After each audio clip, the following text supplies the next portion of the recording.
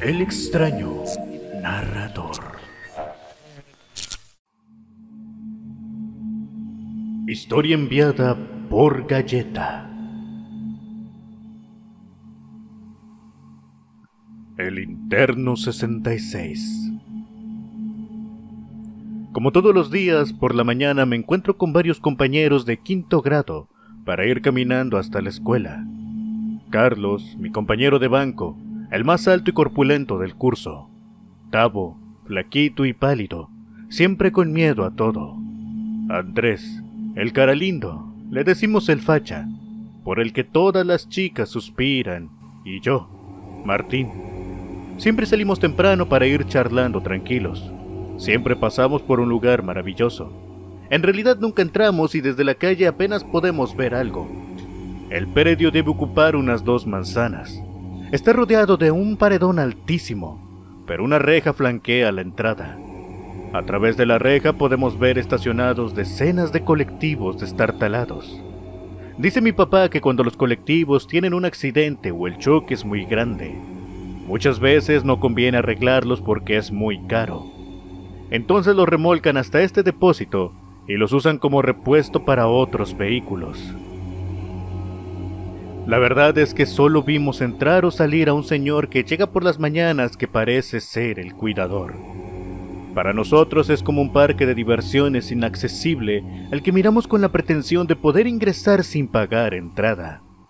Muchas veces es nuestro tema de conversación, que por dónde se podrá entrar, qué pasaría si saltáramos la reja, que si el Señor lo cuidará día y noche, y así continuamos divagando sobre la posibilidad de introducirnos en el preciado depósito vehicular.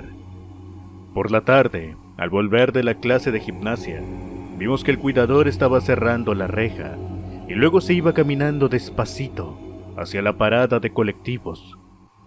Carlos vio al instante una oportunidad.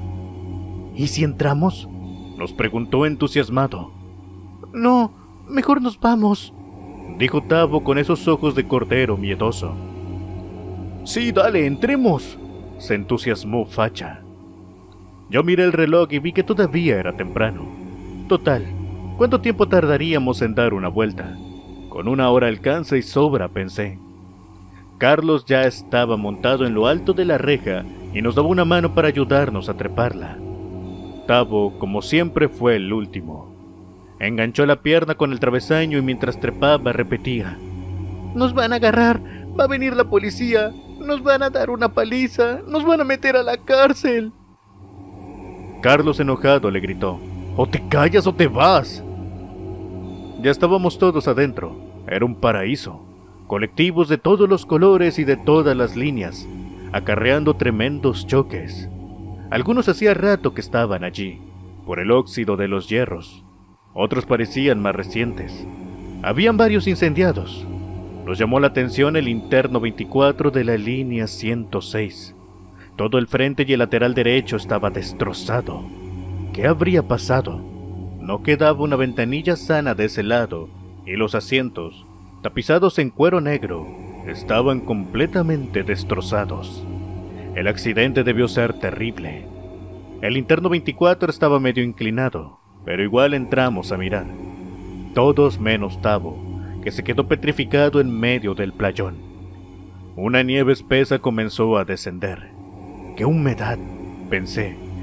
En el interior encontramos entre los hierros retorcidos de los asientos desencajados un chupón, un zapato, anteojos rotos, un diario, otro zapato de mujer.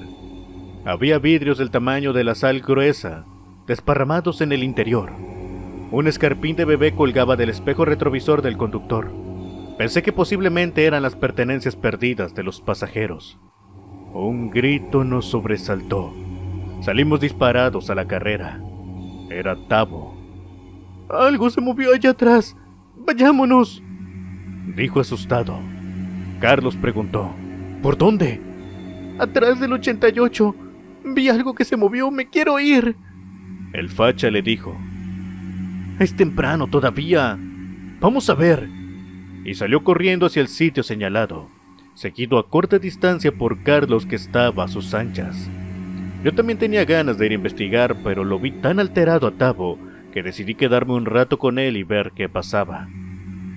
Transcurrieron unos minutos y la impaciencia me estaba afectando. ¡Ey! ¿Qué pasa? Grité con todas mis fuerzas. ¡Vengan, vengan! Se escuchó la voz de Carlos. Agarré del brazo a Tavo y le dijo, Ven, vamos a ver. No, no quiero, protestó. O vienes o te quedas solo. Le dije y lo arrastré contra su voluntad.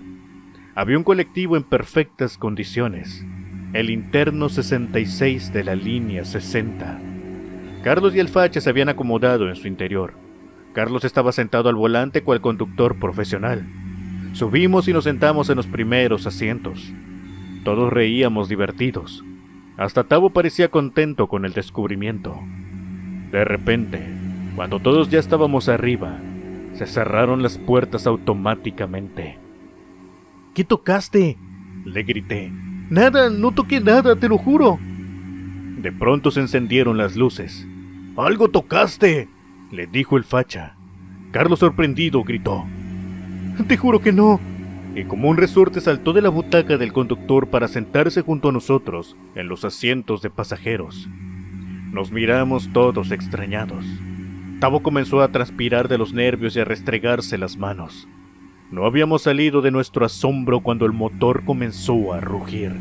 La palanca de cambio se movió como por arte de magia y el colectivo comenzó a avanzar lentamente por el playón, conducido por quién sabe quién. El chofer fantasma puso segunda y avanzó a mayor velocidad, luego tercera y finalmente pasó en pocos segundos a cuarta. El colectivo avanzaba por el playón, rodeando otro grupo de vehículos estacionados en el centro del mismo a gran velocidad. Teníamos que sujetarnos fuertemente de los asientos para no caernos. Tavo lloraba y gritaba sin parar. Pronto los cuatro acompañamos sus gritos a coro.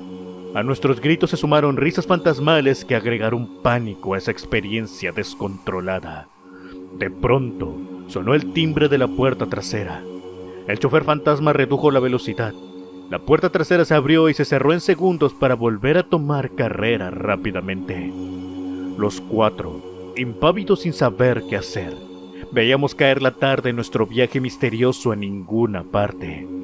La velocidad impedía que pudiéramos pararnos.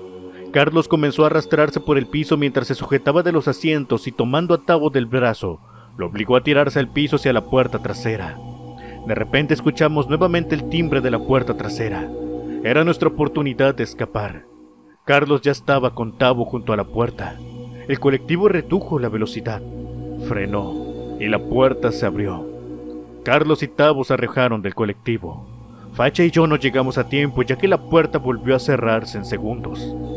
Carlos y Tavo, que estaban a salvo, nos miraron espantados desde el playón. Y nosotros continuamos nuestro viaje estirados en el piso junto a la puerta trasera, entre las carcajadas de los espectros que nos acompañaban, con la esperanza de que alguno tocara el ansiado timbre.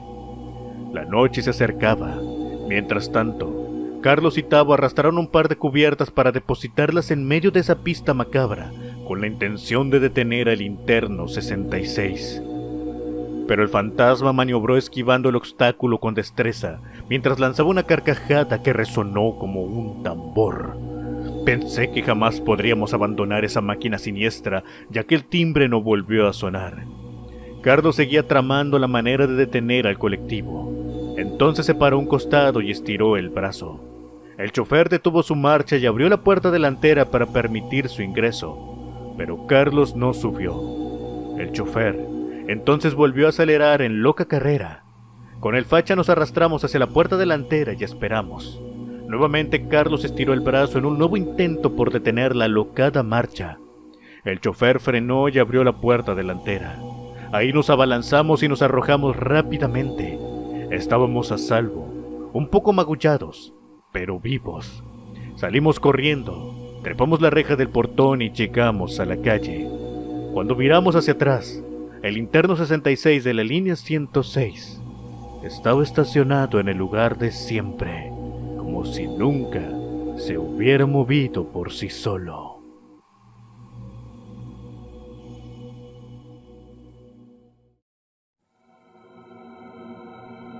Hola mis queridos amigos extraños, ¿qué les pareció esta historia? Espero les haya gustado. ¿Ustedes tienen alguna historia sobre algún autobús, microbús, pecero o como sea que le llamen a este tipo de transporte? ¿Alguna historia extraña, paranormal o aterradora? Te leo en los comentarios. Y te recuerdo que comentar, compartir y dejar tu like siempre me ayuda a que el algoritmo me dé más visibilidad en YouTube y así puedan llegar nuevos amigos extraños.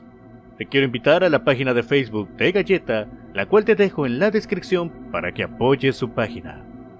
Yo soy el extraño narrador y nos vemos en una próxima historia, mis queridos amigos extraños.